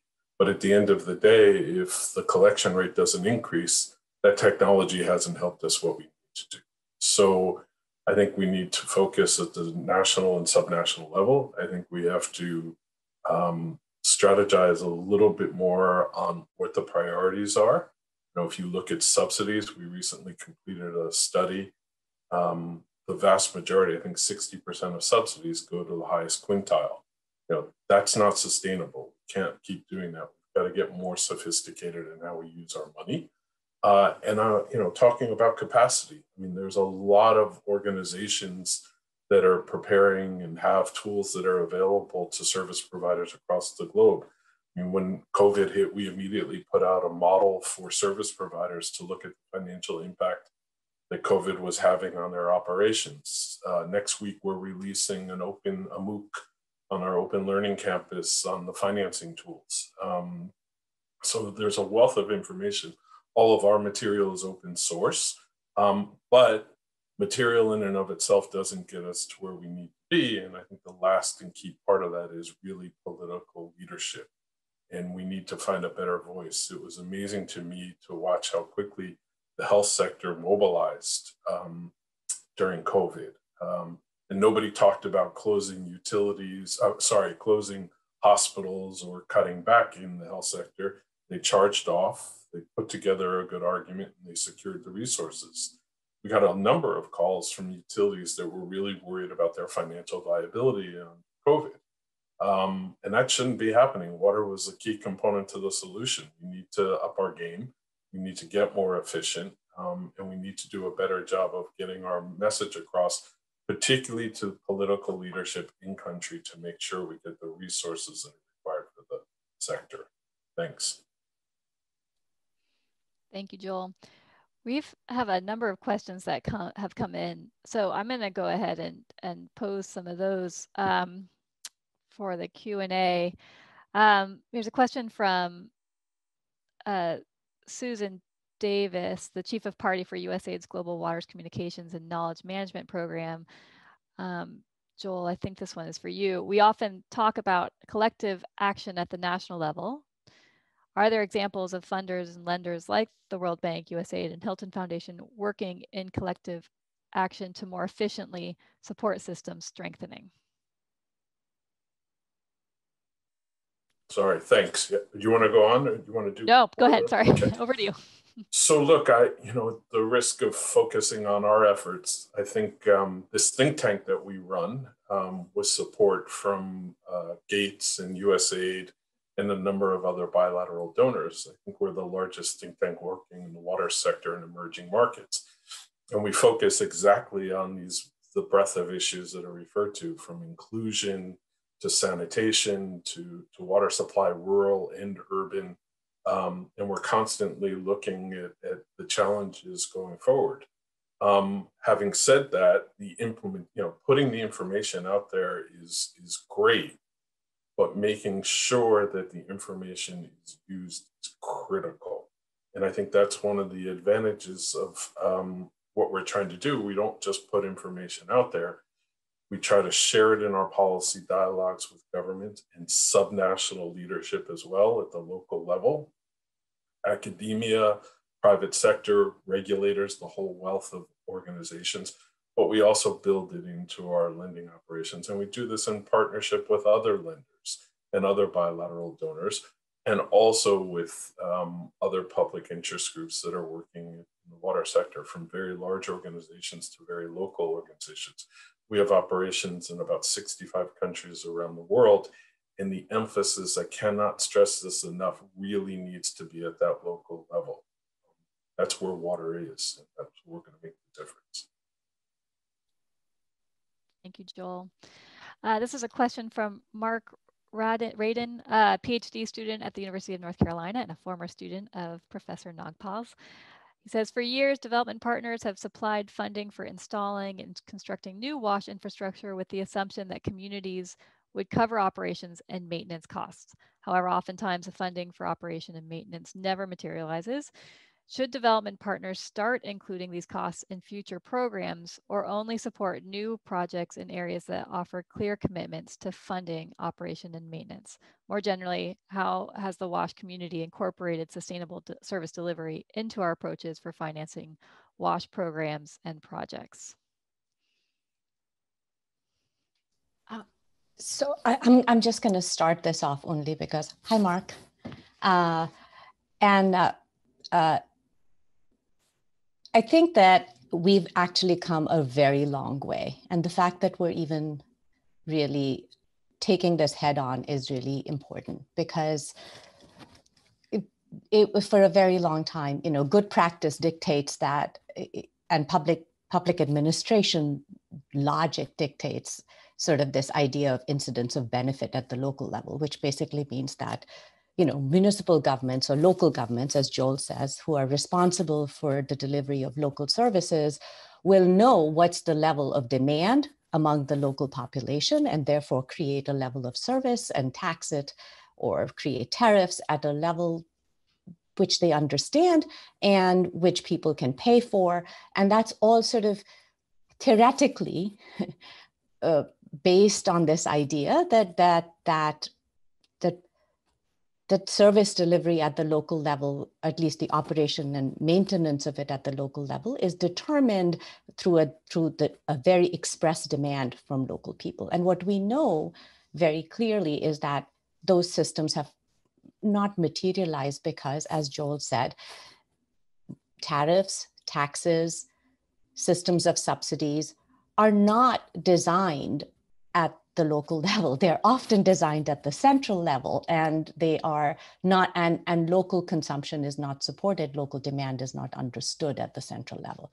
So I think we are at this sort of we commonly now understand, especially it, Joel's group has done a lot of work on this, that we have to we have to unpack this idea of opex and maintenance expenditures being generated locally. We understand that they don't happen.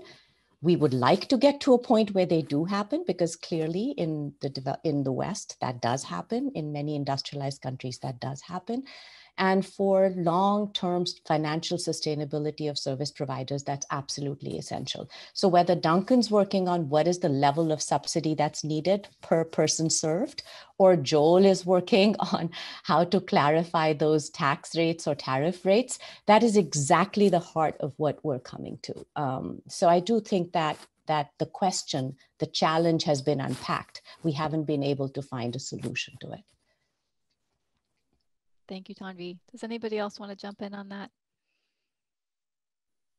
I'm, I'm happy to. Uh, uh, I completely agree with Tanvi, not surprising. Um, I think we, we have a much deeper appreciation of O&M um, and we build it into our projects. But when we leave, it has to be local government responsibility. I think the key is financial viability analysis at the beginning. We need to not look at individual, the viability of individual projects, but we need to look at what the impact is on the service provider across the board. It can be a very good project, much needed, but at the end of the day, if that infrastructure isn't going to help generate revenue to cover O&M, um, you can actually do more damage than good despite the best intentions. So I think we have a deeper appreciation of this. We just need to uh, get better at it. So making sure we do financial viability analyses At the national level, we're really trying to reinvigorate the public expenditure reviews, you know, really look at what government is spending in the water sector. And that's really difficult because the investments in water come from all kinds of places. You know, the energy bill related, we're spending 10% of our electricity moving water around the world. And sometimes we get a big subsidy from the energy department, and we need to take that into consideration. Sometimes the staff at the local level running utility are paid by the Public Service Commission. So we really need to get a better handle on the full range of investments that government is putting into the sector. And then we need to rationalize it because often those benefits are serving the wealthy rather than the poor. Again, I don't mean to sound so negative, but I think we are understanding it. We know what to do uh, we just have to get better on the implementation side. Thanks. Go ahead, Duncan. Yeah, if I could just add, add, one more thing to that is to pick up on Joel's previous point as well about the importance of the institutional piece in that is that the how, how much the financial uh, analysis is influenced by the institutional context. So if a service provider has an exclusive mandate, if the messaging from political leaders to communities is don't pay for water, it should be free, you know, all of those things can really impact uh, beyond just a sort of, you know, conventional business analysis. Um, there's that, that other piece there that, that really uh, influences what's achieved in a given context. Thank you, Duncan. Sheila, go ahead. Yeah, um, I think I can chime in, in um, from a from a customer's perspective. Um, and one of the questions we were asking ourselves, you know, when we were building out the, the, the Fresh Life model is the willingness of the customer to pay and contribute to the, you know, sanitation kitty.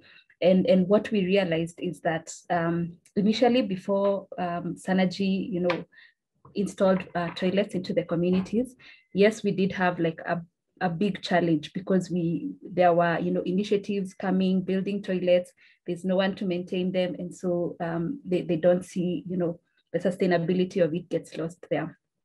So um, when when when we were building out the the the fresh life model then it, uh, it required a lot of you know building trust. And what we found out is that customers sometimes already pay for these services only that they pay just sometimes they pay and they don't get very quality services. So the willingness to pay, we realize is actually there. Um, and what people want is at least quality services. And so um, the Fresh Life model is actually built off of that, um, being able to provide quality um, and sustainable, you know, service, making sure that, you know, it's the service is there. People can access clean toilets throughout. Um, then um, the willingness to pay to pay has been there. Again, just bringing in the the the, the, the participatory aspect um, where you know the, the community is chiming in you know um, and, and we are being able to for example for Sanergy's case um, being able to again generate revenues um, to be able to create a very you know sustainable um, system um, across board yeah thanks thank you Sheila Keith, I have a question for you um, from Kirsten Dannert, Director of Ask for Amer or sorry, Ask for Water GmbH. Um, we have tried to reach out and inform the public through journalists, but how can this be done? Within projects, we have reached out to journalists in the past and even paid journalists to report on projects. But where are the journalists and media organizations with an interest in WASH and water resources more widely? Yeah. you have an answer for that. I mean, a whole discussion. Let's do the short course on this, right?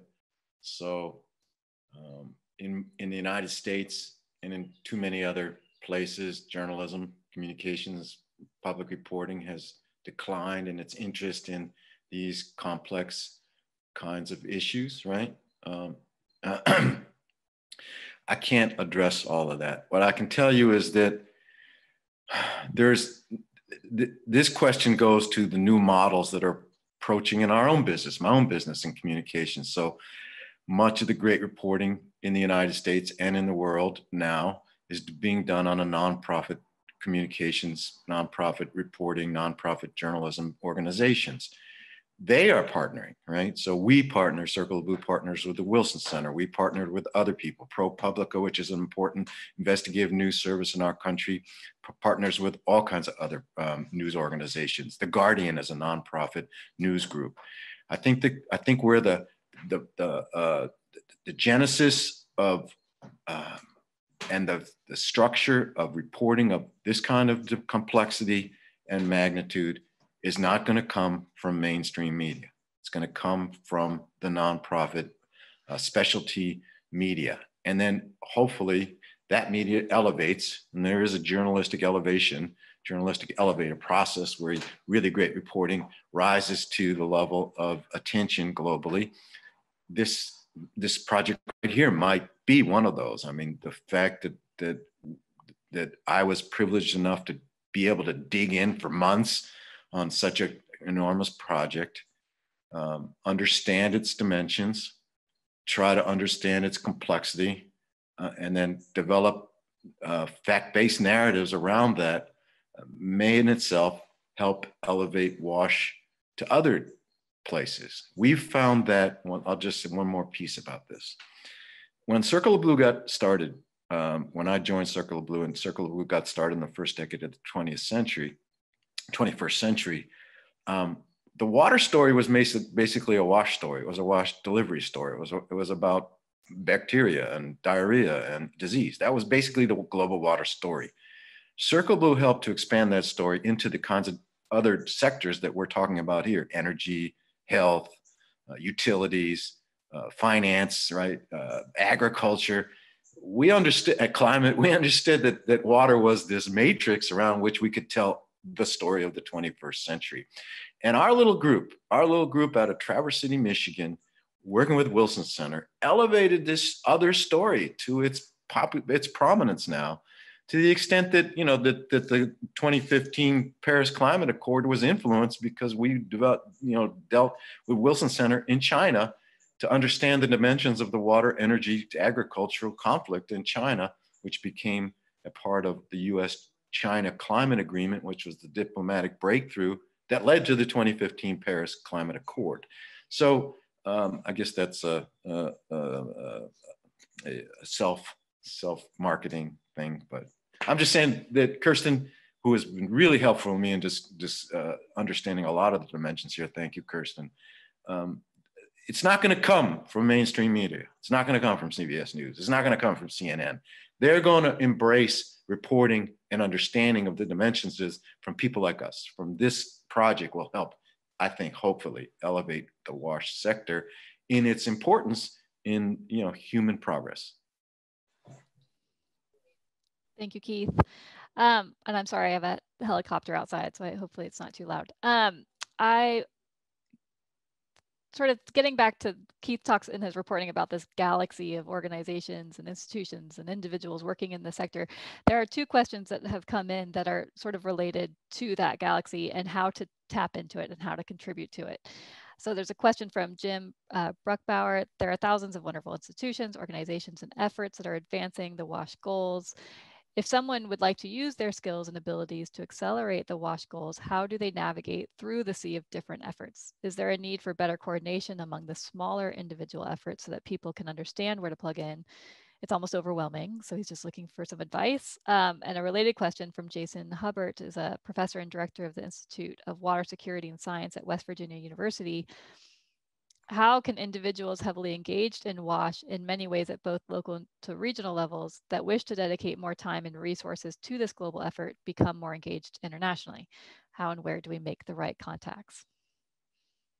So as folks that are, are very deeply engaged in this sector, it would be interesting to hear if you have some advice for where they can tap into the sector um, at different levels, I'd say. So it sort of sounds like um, from the from the local all the way up to these international engagements. Duncan, I guess Duncan, and then I'll go. Oh, thanks, Tanvi. Yeah. Uh, so what, one thing that I, I will take this opportunity to highlight is that Uptime is launching a global survey with REACH and RWSN to identify service providers globally that uh, could participate in you know a potential scale up of, of this type of project. Uh, so we're actively looking for contacts, particularly in lower and lower middle income countries uh, who are doing this work in you know rural water maintenance services. And so please uh, check the RWSN website for more details on that. We expect the survey to be live in the next probably week or so, um, or you can contact me directly Uh, but that's a very, uh, I think, tangible thing that we're trying to, uh, to get off the ground now to broaden the engagement. Thanks, Duncan. Tanvi? Um, I think that uh, the name of the organization is evading me. I'm just going to give you one example, but um, Keith highlighted it in um, in his reporting. Peter Macy's group that works um, essentially uh, with a lot of uh, volunteers who do direct advising to utilities. Um, and so I think that that's one, if you are somebody who, who you know, would like to be directly engaged with strengthening um, local utilities, uh, I think that's an incredible opportunity. I'm, I'm not going to go into how smaller NGOs should be involved in the larger scheme of things because that's a conversation for another day. But just sort of in keeping with today's uh, conversation about how to engage more directly and strengthen governments and the service providers themselves, this would be a, a, a good entry point. Thank you, Tanvi. Joel. Um, the name of that group is Rock Blue. They're based in Cape Town and they help utilities. I'm sure Peter's online or reachable um, on the web. Look, I, I, you know, I think this is an it's an incredibly complex sector you know, we haven't gone outside of WASH, but you know, 70% of water goes to agriculture. You know, um, something like 60% of global freshwater withdrawals come from transboundary sources. Um, so this is, you know, and we haven't even touched on those issues, and they are very, very political and very, very difficult. So it's the question is not a surprise. It, it, can be overwhelming, and I think it really depends on a couple of things, as Duncan alluded to. You know, it depends where your interest is. It depends which aspect of water are you interested in. It's sanitation or utilities or or um, gender issues and inclusion issues, transboundary. I mean, you, you can pick your sector to get involved in. There is probably an organization that's involved in it both from the public advocacy side, which is one aspect of it, but the other, and, and frankly, in some ways, a little bit more meaningful, is the delivery at the local level. The organizations like Duncan's Group and Sanergy and, and others. And there's a slew of them around the world, and they're doing very, very good work. Um, we do need to get more strategic, and I think um, kind of come on some central themes that we want to identify and make sure that we target the right organizations, but there's no shortage of places where people can get involved. Thanks. Thank you, Joel. A slightly different iteration of that question um, is from Eliza Roberts, Project Director for Sustainability, Energy and Climate Change at WSP USA, which is an engineering professional services firm. What role can companies play in tackling WASH challenges globally? Where has this been done well and what is needed? So looking at the role of the private sector. I can help a little bit start that conversation. Please. So in my reporting, I, I tripped over this group of major companies called the Toilet Coalition. These are, these are major people involved in, in sanitation. But I can tell you that in my repeated efforts to reach any of them, they ignored it. So I'm not sure where what that means about companies' participation but certainly what it means about companies' participation and, and public knowledge about their participation is weak. So if anybody in the Toilet Coalition is listening today, please answer my calls next time. Thank you, Keith. Does anybody else want to jump in on that? I'm happy to take a crack. Um, again, I, I think I would break it down a little bit. You know, the private sector on financing, um, you know, can include banks, microfinance institutions, pension funds, insurance companies. There's a host of groups that are involved on the financing side. On the service provision, I mean, you have consulting operations looking at every aspect of water sector um, delivery. They're slightly different from operators who want to come in. You see a number of countries where the private sector is running desal plants, doing the kind of work that Sanergy is doing on reuse and uh, the circular economy, which is absolutely essential. Um, and I think we see even more and more involvement in the private sector around the issue of water and climate change. You know, we are struggling to get water at a seat at the table at the COPs and making sure that water is front and center on the climate debate in all organizations. I don't think we're there yet. Um, so people advocating for the water issue around the whole climate change discussion. You have issues, we've talked about the energy and water nexus, but I think it's equally important to talk about the nexus between water and agriculture, given that agriculture is such a huge user of water. Um, people advocating from that end in the agriculture sector, more efficiency, more synergy, and more sustainability is absolutely essential. So the private sector has a huge role in this across the board, even in sanitation. We've, we've seen the private sector come in, the microfinance institutions in, in, uh, Bangladesh. You know, we started off with a small results-based finance program there, which was a grant-based uh, helping microfinance institutions fund toilets. Uh, not very different from off-grid energy systems. So the household was responsible. Today, I think it's seven years later, we have a $300 million investment in that, and it will move to scale. And the energy sector in Bangladesh on off-grid is a $500 million, sorry, a $50 million a year investment uh, and we hope to get that in sanitation. So there's a huge scope for private sector investment. Thanks. Thank you, Joel. Give anybody else a minute to jump in before I move on to the next question.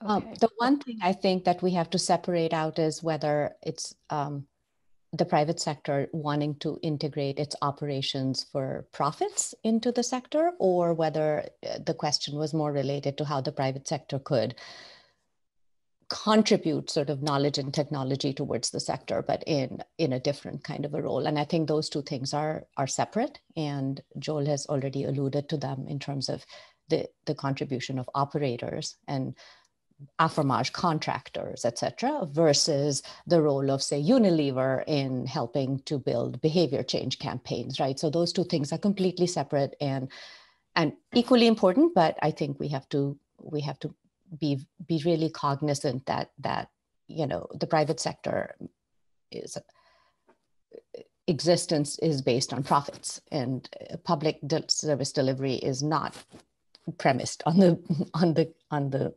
creation of profits. So it's just it's just two different kinds of uh, entities that we have to kind of merge together to bring and and and also their goals could be quite divergent. So we need to make sure that we keep those two separate because when we've brought those two together, it's resulted in a very non-productive conversation in the wash sector. Uh, and we have to really be really careful about not going in that direction. Thank you, Tanvi. Joel, did you want to jump in? No, I just wanted to, I didn't want to go into that last thing that Tanvi's. I was referring to the hand washing coalition, which is a public private partnership really looking at the whole issue of hand washing that's been around for a long time and, and frankly done great work. And with COVID, their um, their profile raised significantly. So that's another option and another way that the private sector's got involved. I should say, and picking up on Tanvi's point, the level and scope of private sector engagement at the national and subnational level really depends on the government's openness to that. You know, no one's forcing anybody from the private sector to come in either from the push side or the pull side. So each government, each local authority has to make up their mind on how they want to go about it, but it is certainly an option that's worth considering. Thanks. Great, thank you. Uh, this next question, Sheila, I'm going to pass it to you first. Um, it's from Kimberly Slind Lem, the Director of Program Learning and Influence at Water for People. Understanding that the mandate is at the subnational and local level, there are elements of getting systems to work for effective and efficient service delivery that sit at the national level, which I think we've covered a fair amount today. Have any of the panelists seen effective approaches to bridging that national local split? So I wonder if you could talk about your experience working sort of across the scales of decision making within the context of Nairobi, but how you're working with sort of local officials all the way up to the national level and how you bridge bridge those conversations. Yeah, sure.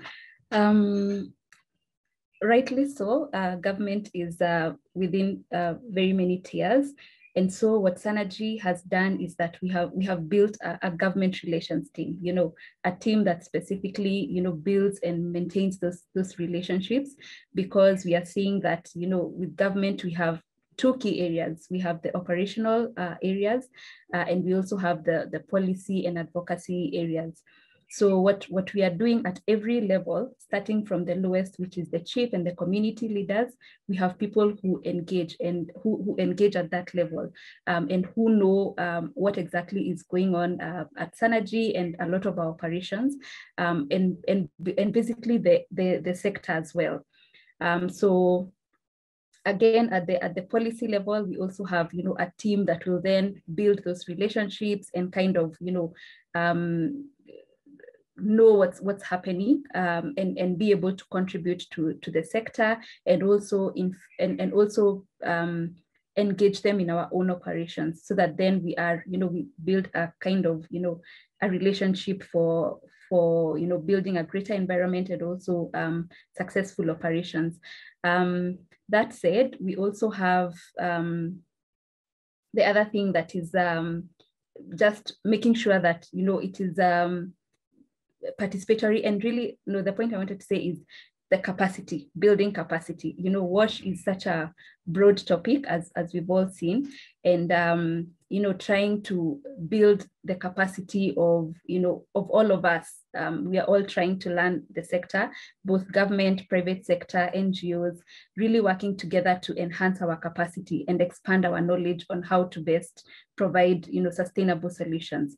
So um, being able to really build um, our capacity, both as Sanergy and also within government, exchanging knowledge a lot has really helped in terms of you know building synergies that are able to strengthen um, our operations and strengthen the sector as a whole. Thank you, Sheila. Does anybody else want to jump in on that? How to how to engage across? Go ahead, Duncan. Yeah, I can quickly touch on that just from the uptime perspective. So all, all of the service providers we're working with are also engaging uh, at, uh, at the either subnational or national level in various capacities to try and you know influence policy and wider uptake of the approach. Uh, so it's very much you know the partners who are the sharp end of that interaction um, as it as it should be because they're they're in country and uh, and I'd say like what we what we really need to do to, to further that engagement is be able to demonstrate results uh, over a longer period and at progressively bigger scales. Um, when I used to work in Uganda, the, the ministry would say to me, you know, this is interesting, but it's you know a few hundred hand pumps in one district. I'm managing you know 25,000 hand pumps across the country. When you can you know show me results at that scale and retire some of the risk around that, you know, then I'll consider it for a national policy. And I understand that, that makes sense. Um, so I think that's where you know there's still work needed to do. Is is we need to we need to get beyond the pilot stage, um, even if it's really interesting work, and uh, and then that's uh, you know maintain those engagements. But then you know that's where we're really going to transition from you know small scale pilot with philanthropy to larger engagement to maybe you know a country level uptake. Thank you, Duncan. Let's see, I'm looking at the time. We just have two more minutes about. So I think I might ask you one final round and I'll invite you all to take 30 seconds to 60 seconds. This is a question from Carl Ganter at Circle of Blue. Uh, how do we not lose this inflection point? If we say there is progress, how do we ensure that doesn't impede the work that remains to achieve universal access to WASH? So uh, you, have got about, I'd say 30 seconds. Yep, about 20 to 30 seconds. Sorry, I keep making it shorter as I keep talking. Um, answer that question. And then if you have any other final remarks you, that you want to make before we go to our closing remarks. Thank you. Let's see, I'm going to start with you, Keith.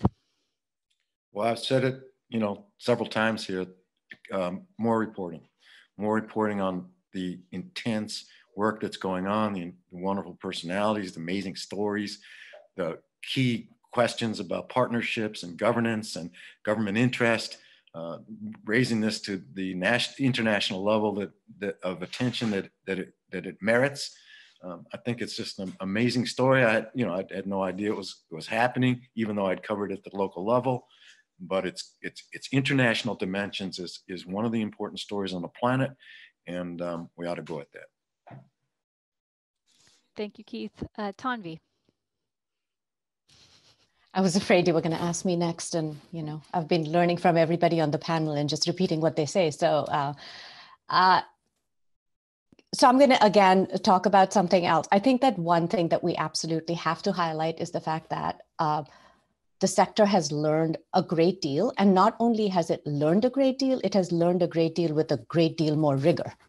Um, and I'm going back to Duncan or to Sanergy's example, and I think when I started in the sector, there were a lot of phantom statistics that we used to cite over and over and over again. And I am, uh, if we could just for a moment decide just to put those aside and rebuild a narrative based on the evidence that we have gathered about things that work and stick to that um, and learn how to turn big ships that are heading in the wrong direction around, um, we can really, really make headway. And I think um, we're we are inching in that direction. But i think there's two things so that those two things are something that i would like to put put really my weight behind. One is just sort of the creation of very transparent co-created partnerships that are strong where we have allies who can push us in that same direction. And the second would be to really double down on on being able to defend how we know what we know and and to be able to um, share that in ways that people understand. So using Keith's sort of abilities, but also supporting people like Duncan and you know the entire Sanergy team or everybody else out there who has very deliberately and in a data-driven and transparent way sh shared what it is that they're doing and how it works, even though it could take a long time to get there, longer and than than we had anticipated, you know. Thank you, Tanvi. Sheila?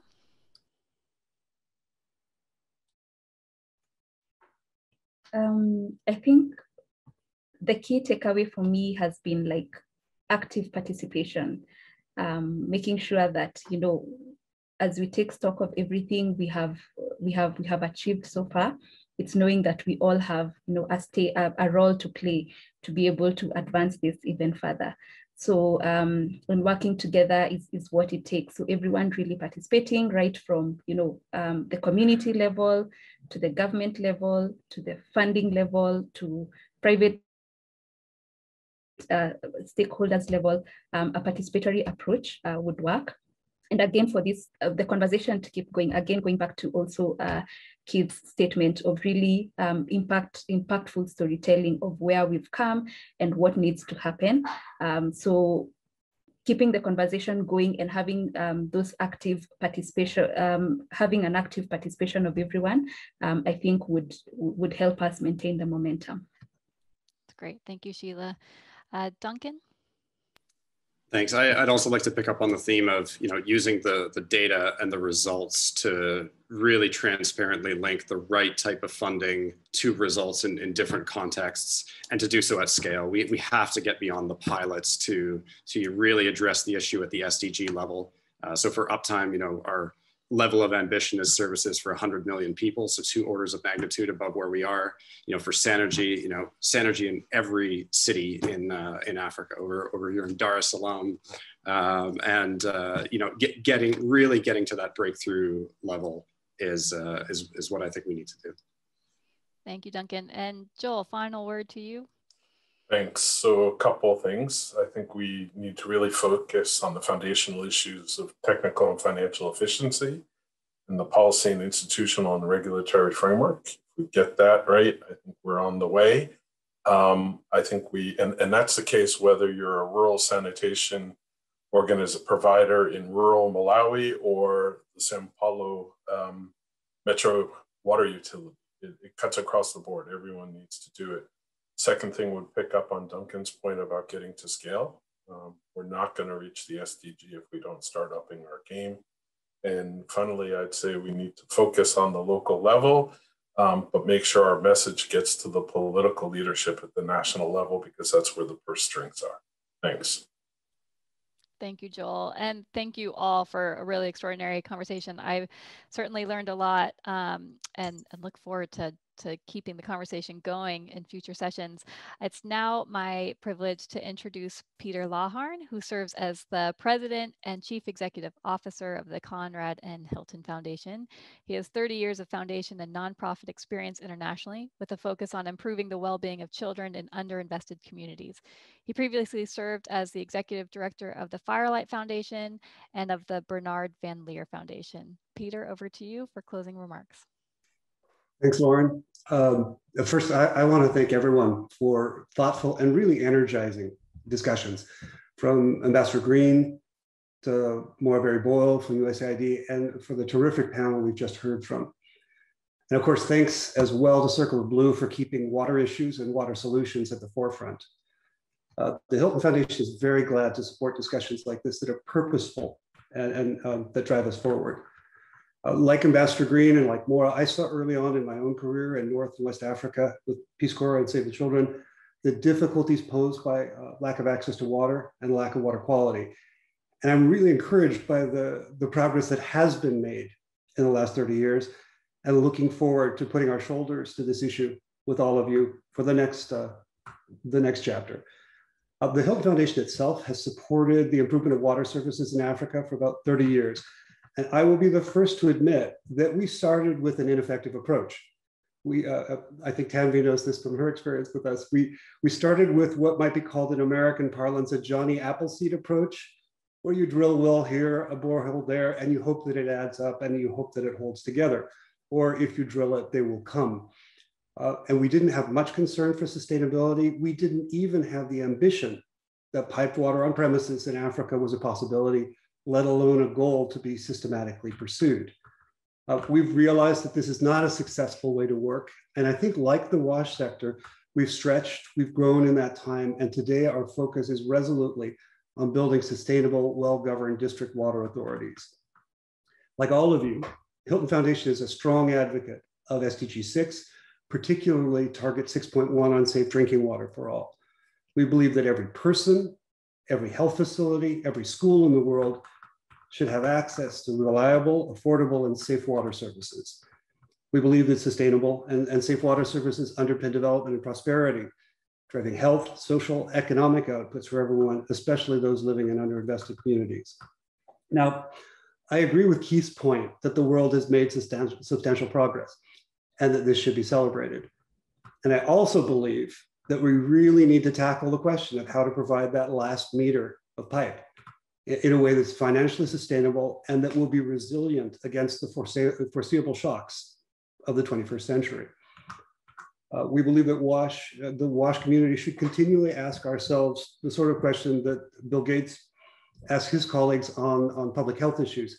How could we eliminate this problem for the whole world? In this case, how could feasibly water and sanitation be provided for all in a, in a financially sustainable way. Now, the good thing from my perspective about the wash sector is that we know the basics. We know the basics of infrastructure, water delivery, governance. We don't, for the most part, need technological breakthroughs to deliver what we want to do. Uh, instead, as, as all of you have eloquently said, we need to look at solid data and closing data gaps. We need to look at inadequate models of sustainable water delivery. We need to look at unclear water, uh, water governance and how all of this results in unnecessary lack of safe water. Uh, and, you know, it's, uh, so the, the encouraging thing is that this is not rocket science. The, the challenging thing is that it is, it's really wrapped up in soft skills and in political commitments. Uh, but I think we're getting smarter and smarter about that.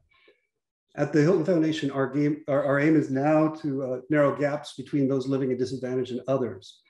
And our new strategy is focusing on locally driven system strengthening model, which focuses on providing safe and sustainably managed water delivery at a district level. And we hope that this will be a contribution to a real drive to full attainment of SDG 6. Um, specifically, we are focused on the district level and feel that a strong district authority supported by regional and national levels by, and by finance and leadership, can provide safe and sustainable uh, water for every household, every school, and every healthcare facility at the local level by 2030. Um, this emphasis on the district at this, this unit of district scale also provides the convening space to plan and implement services uh, with the involvement of health, of water, of government, civil society, and the private sector. And I agree strongly with Joel's points that uh, efficiency and governance are crucial uh, at this level and at others, and that they can be syst systematically built up. I think that's a, a, really important point for us all to focus on. Uh, we need to look at the, the big picture, tackle the incentive structure throughout, looking at issues beyond infrastructure to understand systemic issues, root causes that cause uh, subpar uh, service delivery. This includes incentive structures, governance issues, motivations. So a lot of the soft skill questions and the, frankly, the accountability questions that you were all talking about. Um, you know, and I, I would just, um, I, want to say uh, in listening to the, this panel, uh, I'm thinking that we have so much of what is needed to get to water and sanitation for all. We have uh, listened to yourselves, listen to the quality of the questions. We have tremendous technical competence and expertise. Uh, we have a recognition at all levels that water is a basic need. And we have a willingness at every level, from the household to the national level to the global level, to invest money and labor in, in, uh, in obtaining water. Um, that's not the case for every sector that the Hilton Foundation works in. You know, so I think the, if you like, the commercializability of this and the willingness at every level to invest is really important. I think we have a growing degree of financial uh, competence, although probably not the degree, well, I, I, can say clearly not the degree that we need in order to be able to finance the, uh, um, the attainment of SDG 6. Now, so what is still needed? And as I'm listening to folks, I, I hear it from all of you. I, I think um, we have the technical capacity to propose solutions on this. But I don't think we have, uh, if, you, if you like, governance at a global scale. We don't have a global sense of responsibility for delivering on SDG 6. And I think that needs to be built up. Um, I've often worked with technical counterpoints, the counterparts at the World Bank or USAID, and you feel, okay, that organization is on my side. But it is not until the political leadership of those organizations are also bought in. So I think we have to help all the technical knowledge that is on this panel develop the political commitment within those organizations, multilateral, bilateral, UN system, uh, that this is a, a, key priority and a deliverable one. It's, uh, it is one that we can orchestrate into delivery. So I think we all need to work on our political competence. I, I think it would be very handy to have a playbook for multi-stakeholder partnerships uh, with various levels of government, with private sector, with civil society, uh, even the role that philanthropy can most, uh, most usefully play. Uh, and specifically on that, I think clearly we need, we need private capital as well as government capital in, in, um, in financing the, the, the gap on delivering these services. We also, I think, should aim philanthropic capital at the right level. We, we have only a very small drop in this bucket. Uh, so we should look at the most valuable ways to invest our, our, our, resources. Those are in testing, in catalyzing, in de-risking, and I think in doing some of the cajoling and poking um, that, that, that this panel was pointing, pointing toward. And I, I agree very strongly with Joel's points as well. Um, we need to build efficiency at each level of, of systems, and we know how to do that systematically. We just have to do it more thoroughly and more broadly. And we really have to think through what are the soft skills and what are the mutual commitments that hold those governance pieces uh, together. I think when we've done all those things, uh, we have a very powerful uh, case. We have a, a, powerful investment case, and we can uh, we can pull it off together. So we at the Hilton Foundation will work alongside all of you on this, and we're confident that significant progress can be made. Thanks very much. Back to you. Thank you, Peter. That was a really perfect way to wrap up a very robust discussion. Uh, I, we are over our time, so I'm going to go ahead and very quickly thank all of our panelists today for such a rich and thoughtful discussion. I want to thank Circle of Blue for your partnership in the series and the Hilton Foundation for their generous support of the series. Thank you, uh, Peter, Maura, and Ambassador Green for providing such strong bookends to the discussion. The recording of today's event will be available on the Wilson Center event page in the next day or so, and we will also be sharing a summary of the discussion on our blog New Security Beat and on Circle of Blues website in the coming weeks. Thanks for tuning in and thanks to all of you again for a great discussion.